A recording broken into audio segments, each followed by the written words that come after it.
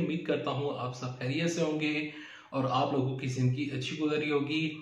मैं हूँ अमाद मजीद और आप देख रहे हैं यूट्यूब चैनल। इस्लामाबाद में इमरान खान साहब जो है, इस्लामाबाद की जानब लॉन्ग मार्च का उन्होंने आगाज़ कर दिया है। दौरान लॉन्ग मार्च दो अहम खबरें सुप्रीम कोर्ट और इस्लामाबाद हाई कोर्ट से चलकर सामने आई है।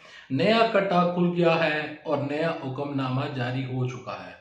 इस्लामाबाद हाई कोर्ट और सुप्रीम कोर्ट से क्या बड़ी खबरें हैं, ये आगे चलकर डिस्कस करता हूँ। लेकिन उसको डिस्कस करने से पहले, आगे बढ़ने से पहले आप सबसे एक छोटी सी गुजारिश करूँगा कि इस वीडियो को लाइक कीजिएगा, चैनल को सब्सक्राइब कीजिएगा, सारे नोटिफिकेशन बटन दबाएगा ताकि जो आने वाले वीडियोस हैं, आप उनको मिस ना कर सकें। एक तरफ़ लॉन्ग मार्च हो रहा है, दूसरी जानब प्रेस कॉन्फ्रेंस हो रही है। कल एक प्रेस कॉन्फ्रेंस की गई वज़ीर ताला राना सनाउल्ला की जानब से। राना सनाउल्ला साहब ने प्रेस कॉन्फ्रेंस करते हुए कहा कि इमरान खान साहब मुल्क में फितना और फसाद फैलाना चाहता है। इमरान खान साहब का मकसद सिर्फ़ और सिर्फ़ फितना फसाद फैलाना है। इसको आवाम से किसी किस्म की कोई गर्ज नहीं है। राना सनाउल्ला ने मजीद ये कहा कि ये लोगों का वहम है। ये सिर्फ़ एक प्रोपोगंडा है कि इमरान साहब जो है वो बहुत ज़्यादा मशहूर हो चुके हैं, बहुत ज़्यादा पॉपुलर लीडर हैं। ये बिल्कुल एक प्रोपोगंडा है, इसमें किसी किस्म की कोई हकीकत नहीं है। राणा सरावला ने उसी प्रेस कॉन्फ्रेंस में एक ऑडियो चलाई। एक नया कटा खुल चुका है और वो नया कटा ये खुला है कि अली मीन गडापुर की एक मुबैना ऑडियो लीक हुई है और वो राणा सनाउल्ला साहब लेकर सामने आए हैं और उन्होंने दौरान प्रेस कॉन्फ्रेंस वो ऑडियो चलाई। और ऑडियो चलाकर उसमें ऑडियो अगर आप सुने तो उस ऑडियो में कुछ बंदूकों का ज़िक्र हो रहा है कि तुम्हारे पास कितनी बंदूकें हैं तो कितने बंदे हैं तो इस तरह की मुबैना ऑडियो जो है वो सामने आई है।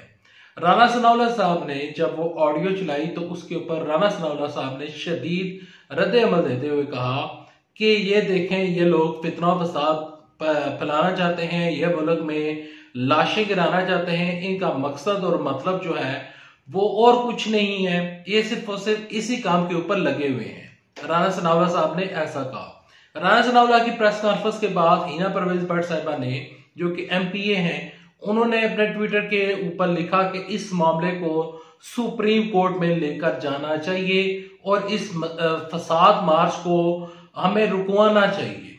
तो अब जराए से खबर मिली है कि जो हुकूमत है, उन्होंने एक पटिशन तैयार कर ली है और उस पटिशन को बाकायदा तौर पर सुप्रीम कोर्ट में दायर करवाने जा रहे हैं। हुकूमती, अरकान हुकूमती जो बुकला टीम है, जो उनके इन तमाम मामला को देखते हैं। तो ये चीज़ अब सुप्रीम कोर्ट में लेकर जाए जो राणा सनावला साहब है, वो इस इस चीज़ को लेकर सुप्रीम कोर्ट में जाएँगे। यहाँ पर वाजे रहे कि जब सुप्रीम कोर्ट में इमरान साहब ने अभी लॉन्ग मार्च शुरू नहीं किया था, क्योंकि अब लॉन्ग मार्च का थर्ड डे है। कल इमरान साहब ने एक लॉन्ग मार्च थोड़ी देर के लिए खत्म किया था तो मीडिया पर आवाज़ें उठना शुरू पड़ी थी कि इमरान साहब किसी आम शख्सियत से मुलाकात की वजह से इमरान साहब जो है वो लॉन्ग मार्च खत्म करके चले गए हैं।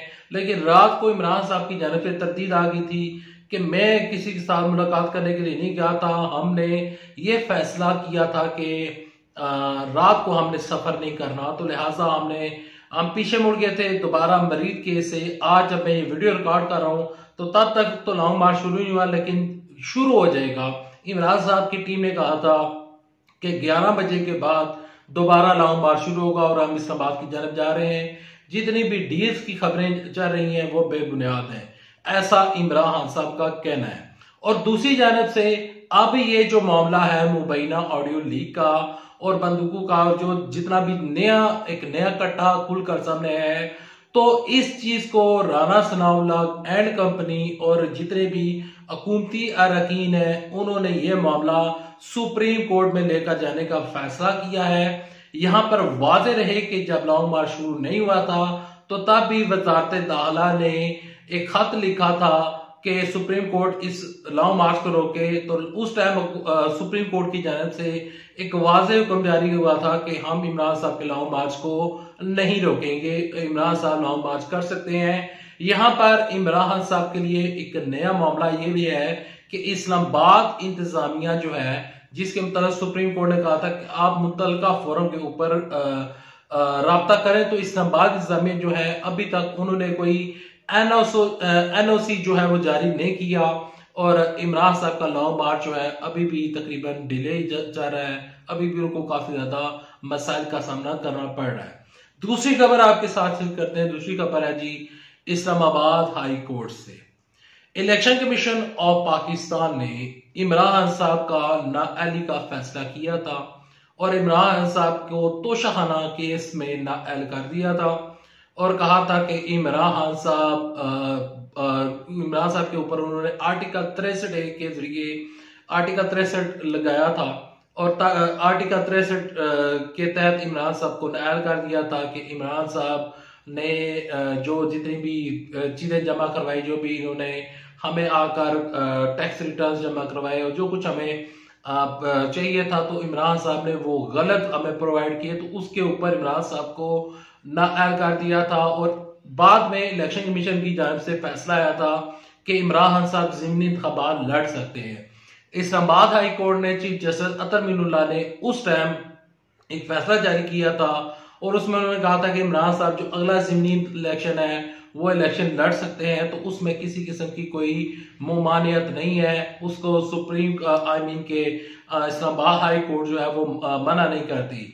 तो इसके बावजूद भी इमरान खान साहब का ये मामला इस्लामाबाद हाई कोर्ट में था और इस्लामाबाद हाई कोर्ट में ये जो जितना भी मामला है, ये मामले के ऊपर अब बकायदा तौर पर एक नई खबर चलकर सामने आई और नई खबर ये है कि इस्लामाबाद हाई कोर्ट में बाकायदा तौर पर इमरान खान साहब की ना नाअहली केस की समात उसके लिए अब बकायदा तौर पर बकायदा तौर पर मुख्त हो चुकी है।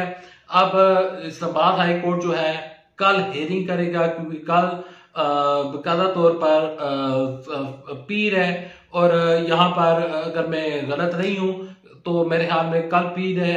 तो इमरान खान साहब की नाअहली की जो दरखास्त है, उसके ऊपर पीर से बकायदा तौर पर समात होगी, और जैसे आमर फारूक साहब जो हैं, वो इस केस की समात करेंगे, और फिर फैसला होगा कि इमरान खान साहब एल हैं या नहीं।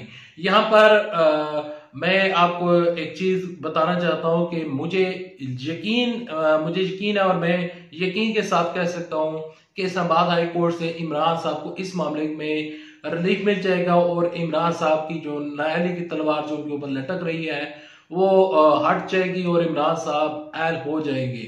यहाँ पर इमरान साहब को कामयाबी मिल सकती है लेकिन दूसरी जानब सुप्रीम कोर्ट में अगर मुबैना ऑडियो लेकर ये मामला जब हुकूमत जाएगी तो हो सकता है कि सुप्रीम कोर्ट की जानब से कोई ऐसा हुक्म जारी हो जाए कि इमरान साहब का लॉन्ग मार्च, इमरान साहब को रोकना पड़ जाए। ये हो सकता है, मैं ये कह रहा हूँ कि हो सकता है। सुप्रीम कोर्ट की जानब से क्या फैसला आता है? सुप्रीम कोर्ट उसको, उस दरखास्त को एक्सेप्ट करती है या नहीं? उस पटिशन को एक्सेप्ट करती है या नहीं? ये पी को पता चल जाएगा। अगर आपको ये वीडियो अच्छी लगे तो वीडियो को लाइक कीजिएगा चैनल को सब्सक्राइब कीजिएगा, सारे नोटिफिकेशन बटन दबाएगा ताकि जो आने वाले वीडियोस हैं, आप उनको मिस ना कर सकें। अभी तक लेते हैं दुआ में याद रखिएगा। अल्लाह हाफिज, पाकिस्तान जिंदाबाद, अफवाज पाकिस्तान जिंदाबाद, पाकिस्तान पाइंदाबाद।